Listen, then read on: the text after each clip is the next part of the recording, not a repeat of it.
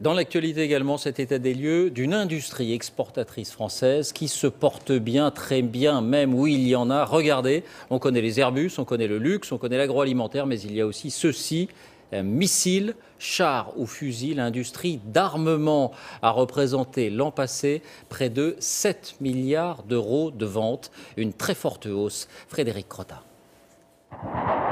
Satellites, sous-marins et missiles, les meilleures ventes de l'industrie militaire française qui ont connu un boom spectaculaire en 2013, plus 43%.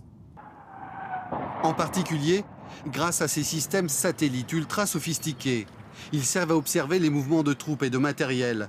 Les Émirats arabes unis et le Pérou en ont acheté pour 700 millions d'euros l'an dernier. Très prisés également les submersibles français, comme le Scorpen, une sorte de sous-marin à tout faire renseignement, attaque en mer et frappe au sol. Des contrats à l'export et des emplois en France, 40 000 emplois créés, dont 14 000 en direct. Les principaux clients sont au Moyen-Orient. Premier acheteur, l'Arabie saoudite. 1 milliard 900 millions d'euros de contrats. Viennent ensuite Singapour et le Maroc. Seul échec pour cette industrie, la vente de produits phares comme le Charles Leclerc ou le Rafale.